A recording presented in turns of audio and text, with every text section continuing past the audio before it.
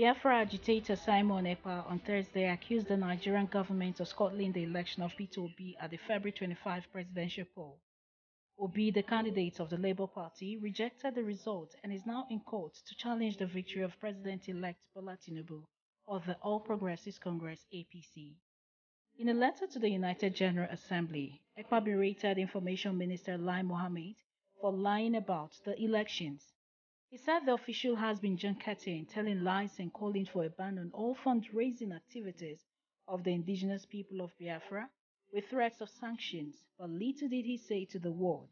Peter Obi of the Labour Party won the presidential election, and the government and its subservient electoral body declared the ruling APC candidate Tinubu winner.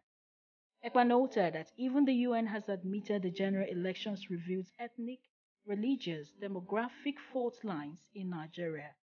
The position, according to him, somehow captures the situation of Nigeria that needs urgent redress through a referendum. Ekpa said when Obi's running mate Yusuf Datti Baba Ahmed cited election irregularities, Mohammed, through his broadcasting commission, slammed a 5 million naira fine on the television station. On the election in Lagos State, the secessionist said Obi defeated Tinubu despite the disenfranchisement of Biafra people.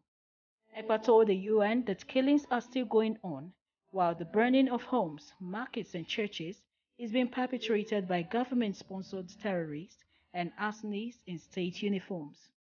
On Eastern Security Network ESN, said the group made up of volunteer indigenous youths was formed against state-sponsored terrorists, herdsmen and their accomplices in the military.